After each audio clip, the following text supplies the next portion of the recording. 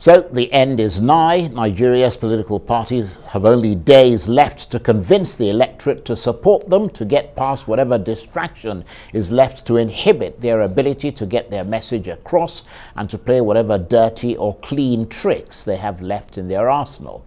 Many pundits are predicting a big turnout if insecurity, naira scarcity and fuel shortage allow. But that's as far as the predictions go. No one's quite sure of how the people will speak, but we know that for some there will most certainly be electoral disappointment. And sooner or later, someone will emerge victorious. But for whom will that bell toll? Well, the policy strategist, Arise News analyst, and founder and executive director of Agora Policy, Waziri Adio, has crafted a well wrought article highlighting why he thinks a number of issues make the 2023 presidential election a series of contests within a contest. And Waziri Adio joins me now in the studio. Great to see you, Waziri. Same here.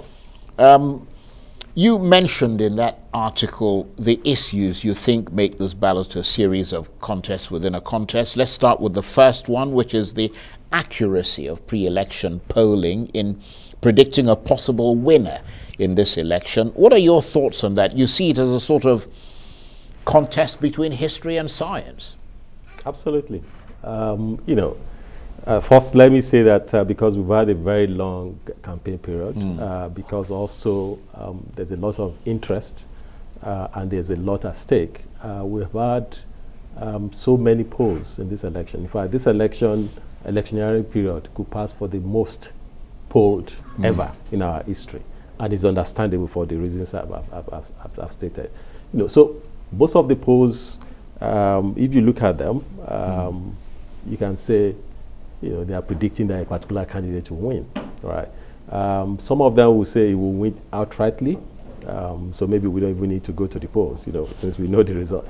And some of them will say we'll put a caveat, uh, either that um, you know, this election is likely to go into a runoff, which is another issue which, you know, I, I mentioned, in the mm. sense that um, the conditions stated in the Constitution will not be met, even uh, by the front uh, runner, or that there are some numbers outside uh, in terms of uh, the respondents uh, that didn't disclose their choice or said they were undec uh, undecided. Mm. And that number ranged from like 30% to more than 50%. And because of that, even when somebody it makes the whole thing unpredictable. unpredictable. Yeah. You know, it's uh, you know uh, inconclusive, so to say. Mm.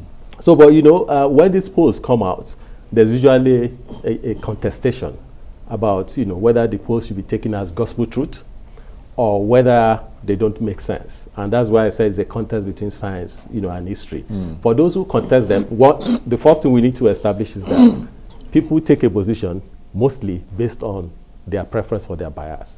But if you take that out, there are people who also take a position based on their reading of the state of play or their appreciation of history. Mm. So when they, those who are looking at the historical patterns, historical voting patterns and all of that, uh, so those are the ones that uh, you tag in terms of history. Um, the people who are looking at, okay, this is a scientific polling and it should reflect the state of play, those are the ones on the side of science. But the point I also made there is that neither the history nor the science is unimpeachable mm. because you are dealing with human beings. Because human beings, as we know, uh, they are not physical objects. They change. They change their minds. Um, so um, you can't rely on history, Absolutely. and also you cannot rely on and that's science. That's a very good you point. And, and, you always end yeah. um, each segment yeah. of that article, and rightly so, by saying you will never know until the results of the election are fully yeah. in, and that is, of course, a fact. Yeah, the reason why I made that is that you know uh, so much, so much passion, so much mm. emotion, uh, you know, uh, have been invested mm. in contesting. Uh, the polls, you know, either celebrating them, you know, or, or, or, dismissing them. And as I say, this is not this is not necessary. Uh, at the end of the day, we're going to know. Uh, we're going to know uh, when mm. the votes are in. Well, let's look at the second issue that you raised, which is the likelihood of a runoff. You mentioned that a yeah. few minutes ago in the election, and that is based on the tightness of the race. Yeah. Um, in a runoff, is a runoff more likely in your assessments than victory at the first ballot, based on your, the analysis you gave in that article? Okay, let, let me flip it this way. Mm. Uh, let's go back to, you know, why is it that people are saying there's likelihood of a runoff. Um, they're saying there like, there's likelihood of a runoff because there are two conditions um, set in Section 134 of the 1999 Constitution for a winner to emerge on the first ballot. The first condition is that when you have more than two candidates, um, the candidate with the highest number of votes, highest, uh, it doesn't matter if it's just you know higher than the next one by one vote, right? Um, the candidate with the highest number of votes, that's the uh, the first condition, and the candidate that meets 25 percent in 24 states and FCT. So because of the tightness of the race, there are people who believe that um, this might not be possible, but there are also people who believe that it is possible, right? You know. So um, what do I think? It doesn't matter. We know the answer. Uh, uh, maybe from Sunday uh, next week. You know, but uh, there's some. There's a very important point that I think um, um, uh, we gloss over. Even let's say there will be a runoff, and by the way, INEC has said that they're actually prepared for a runoff. You know, which is also good. And there are some people who are making the point about runoff as if it's totally inevitable that definitely we're going to go to a runoff. Uh, but, but there are certain points uh, we need to make around the runoff. The first thing is that we've never had a runoff in, in our history as, as, as you know, running a presidential system. The closest we got to having a runoff uh, was in 1979. And as you know, there were five parties that contested. Um, the party that led scored 33.77%. The party that came second, that's MPN, the party that came second scored 29. Uh, uh, point, um, uh, 18%, right? And the party that came third, you know, scored 16.75%. You know, so it might be that close. But the issue in 1979, which is also uh, close to this, was that the Constitution in Section 126 of the 1979 Constitution said that apart from scoring the highest, you also have to meet the spread uh, of 25% in two thirds of the states. As you remember, in 1979 we had 19 states. Yes. And two thirds of 19 happened to be 12 to third. Yep. Uh, so Awolowo went to the Supreme Court to say Shagari was did not 12 meet or spread. 13 Yes, yes. issue, Because yeah. actually uh, Shagari scored 25% in 12 states. Hmm. But in the 13th state, which is Kano, he scored 19.97%, which is now up to 25%. So the case that Awolowo was making was that, you know, states are not divisible. So if it's 12 to third, then it has to be 13. Yeah. So it's 25% in 13 states. And um, um, um, uh, NPN was arguing that no, it is 12 states, then 25% in the two third of the 13 states. Uh, the, the Supreme Court found in favor of, of, Of of, NPN. of, of, of NPN. Yeah. So, so that's uh, another angle we need to look at. But in case there's actually a runoff, There could be a, a runoff and a runoff, Yes. couldn't there? Th- there's Yeah. a confusion about who makes the runoff. Many people, if you ask them, um, so if this election is not won on the first ballot, who will make the runoff? They will tell you the candidates with the, uh, the, the top two, right? But not necessarily so. It could be the top two, but it could also not be the top two. Why do I say so? Um, the Constitution in Section 134, Section 3, uh, that's the 1999 Constitution now, says that the candidate that scores the highest number of votes will be the first draw. Then the candidate that scores the majority of votes in most of the states. Majority, as defined in that context, I'm not a lawyer, so this is my own layman interpretation. Majority means that 50% and above, right? So uh, you can have a party that will score that will score the second highest or the third highest, but might not be the one that will have the majority of the votes in most of the states. Let me give you an example. You can have a party that scored the second highest, right? Uh, but a party that scored the second, the third, or the fourth might actually have 50% in more states than, you know. So this is something I think INEC needs to educate people about so that when we get to that runoff, there won't be this cry about, oh, is Ojoro Yes, and all because of that. that, Yeah. that's another thing that could get mired Yes, in you know, confusion. yes, and it could, Yeah. it- this is something that can, can trigger people. The other thing is that when you have a runoff, the first runoff, it doesn't mean that whoever scores the higher of the two will then become automatically uh, the winner. We can actually have a third ballot in the sense that if you have still have to meet two conditions hmm. in the second in the in the second ballot, you have to score 50% plus, right? Then you also have to still meet the spread requirement.